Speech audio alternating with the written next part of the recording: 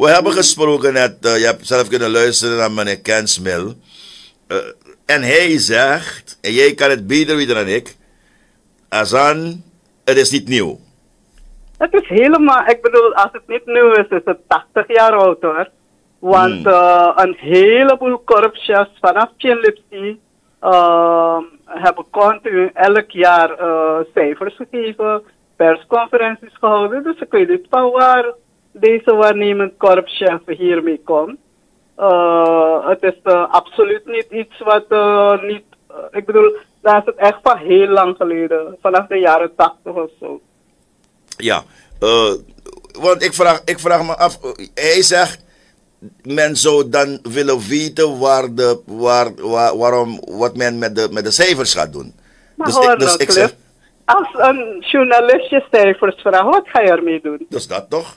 Ja, het is logisch dat je uh, het publiceert. Ik weet niet waarom de waarnemend korpschef ineens vindt dat die cijfers niet beschikbaar moeten worden gesteld. En wat nog erger is, uh, ik heb eerder uh, begrepen dat je dat ook nog schriftelijk moet doen. En het moet brengen naar uh, de korpschef op zijn kantoor. En dan pas gaat hij kijken waarvoor je het nodig hebt. En ze gaan het beoordelen. En dan pas krijg je de cijfers. Het is echt absurd, moet ik zeggen. Ja, uh, waarom, waarom, want ik heb een discussie gevolgd, hè.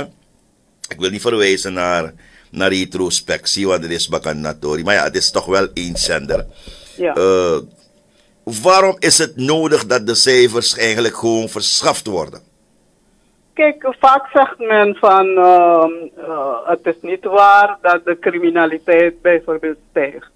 Uh, je kan dat aantonen met cijfers en soms heb je niet dat criminaliteit misschien in het algemeen stijgt. Maar je gaat dan zien bijvoorbeeld dat uh, inbraak in woningen toegenomen zijn. En misschien is de straatroverij een beetje afgenomen. Dus je hebt die cijfers nodig om een beter beeld te krijgen en om aan te tonen van werkelijk uh, geweld tegen vrouwen neemt toe, of uh, dit neemt af, weet je, kindermisbruik neemt toe. Dus uh, die cijfers zijn nodig om een goed bericht te kunnen maken. En eigenlijk hoort het erbij dat we het gewoon krijgen. Eigenlijk moet je het elk kwartaal krijgen. Zodat je een beter bericht kan maken, onderbouwd met van, ja, dit neemt toe, of, of de verruwing neemt toe. Of wat ook van belang is om te zien van uh, hoeveel zaken zijn opgelost, om het positief te bekijken. Dus deze cijfers zijn gewoon heel normaal. We leven in een transparante maatschappij. we hebben dagelijks berichten waar je ziet van mensen zijn niet veilig meer in hun woning. Dus door die cijfers achter te houden, maak je het eigenlijk erger. Dan kan het zijn dat het gevoel misschien ten onrechte gaat toenemen dat uh, geweld toeneemt, terwijl het misschien uh, de berovingen niet toenemen, maar de intensiteit van hoe, hoe een beroving gepleegd wordt. Dus al met al, het was gebruikelijk dat we het elk jaar kregen, gevraagd of ongevraagd. En ik vind dat dat gewoon ook moet. Ja, uh, je bent weliswaar geen voorzitter van SVJ. Misschien moest ik deze vraag haar stellen. Maar ja, jij bent niet Daram Sharan. Uh, zal de media meegaan met dit nieuwe model of zal er schriftelijk gevraagd worden om, om er, vanaf te, er vanaf te zien of, of zal de media schriftelijk protesteren? Cliff, uh, meneer Kensmil zei van het is uh, iets van de korpschef, hè? dat deze korpschef dat vindt. Um, en hij zei, eigenlijk moet een woordvoerder, en dat weet jij um, heel erg goed, die zou gewoon zijn meerdere moeten kunnen zeggen van het is verkeerd om zoiets te doen.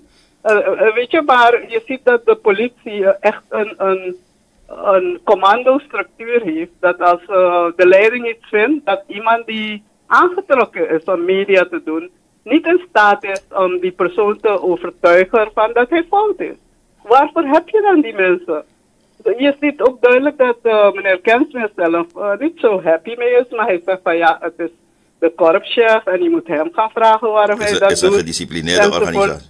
Ja, precies. Maar dan nog, er is toch democratie. Waarom mm. heb je een, een, een PR-afdeling als je dus uh, niets mag zeggen en dat je niet kan inbrengen hoe het moet? Dus ik vind dat wel heel erg fout. Maar Ik denk niet dat het nodig is om een brief te schrijven of wat dan ook, want uh, aangekondigd is dat er een nieuwe leiding komt bij de politie. En uh, blijf maar lezen. Oh, dus dat is de breaking news. Wie wordt de nieuwe korpschef? Nou ja, kijk, ik heb je al een opinie gegeven. Ga jij zelf verder Ja, ik heb een idee alleen, maar als ik het nu zeg, dan gaat men het bericht niet meer nee. op Slaar Nieuws. Nee, nee, je mag het niet zeggen. Oké, ik krijg hier een bericht van Ivan Cairo. Hij zegt, Ivan is zelf uh, freelance journalist bij De Ware Tijd.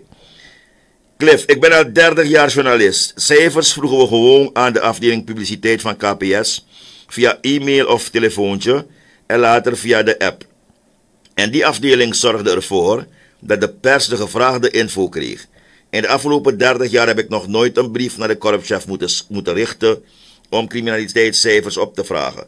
Ik heb gewerkt met de inspecteurs Roel Gayadar, John Jones, Humphrey Simpson, Humphrey Naarden, Marita Assontu, die de leiding van de publiciteitsafdeling hadden of daar werkten. Dus als Kelsmil zegt dat het een bestaande regel is, dan is dat iets van 30 jaar geleden. Wat ik zou willen weten is op welke gronden kan en zal de korpschef een verzoek van de media om criminaliteitscijfers weigeren? Dat laatste deel is, uh, is interessant. Waarom gaat de korpschef zeggen, en deze info geef ik niet aan Lim, niet aan de ware tijd en niet aan Star News? Niet dat.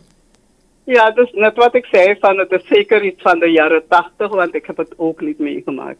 Dus Ivan bevestigt in feite wat ik zeg van, dat we dit niet kennen, we kregen het gewoon altijd en het was nooit een probleem. Dus uh, het was easy. Weet je, nu maak je het tot een geheimzinnig iets. Maar ik denk van het heeft weinig zin om hierover verder te praten. Het is uh, iets wat absoluut niet kan. En wat we ook niet moeten accepteren. En, uh, maar ik denk dat het heel goed dat het verleden gaat behoren. Dus jij gaat zelf de brief brengen met het verzoek? Zie je mij? Ja om iets op Star News te publiceren? Ik leef in een heel moderne tijd waar wij compleet geautomatiseerd zijn en met internet werken en app. Dus uh, ik ken dat niet. Ik weet niet eens hoe je nog met een papier moet werken. Of ja. Ik heb geen printer zelfs. Dus dan zou ik eerst naar de cyber moeten gaan om iets te printen. En het, nee hoor.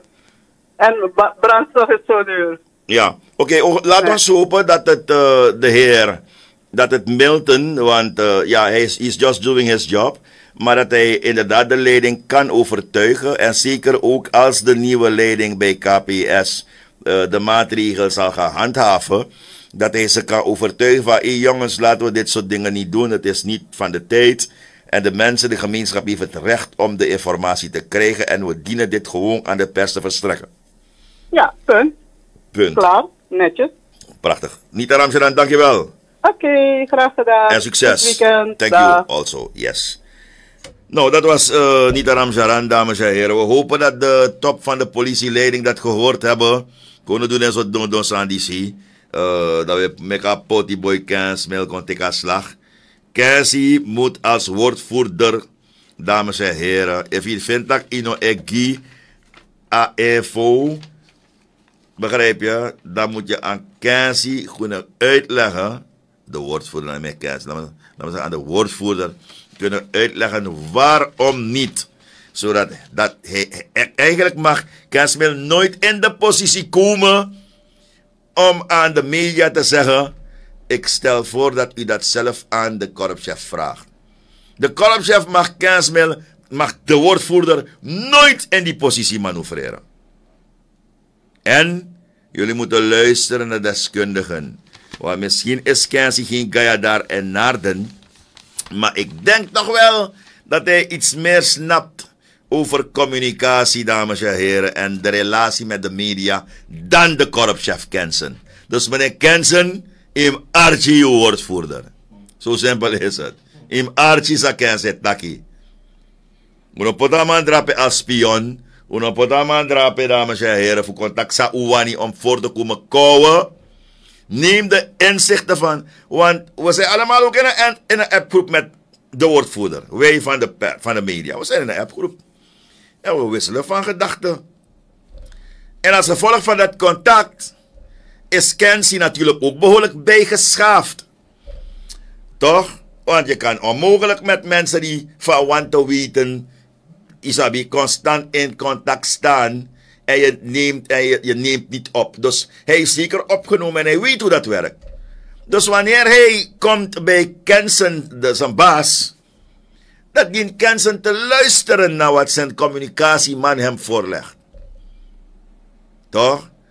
En het mag nogmaals nooit zo zijn dat wanneer een vraag gesteld wordt aan, Kens, aan, aan, aan, aan, uh, aan, aan de woordvoerder, dat hij moet zeggen, ik verwijs u naar de korpschef. Hij moet het antwoord kunnen geven. Maar hij kan pas het antwoord geven als een korpschef alles met hem deelt. Zo simpel is het. Andere smaken zijn er niet.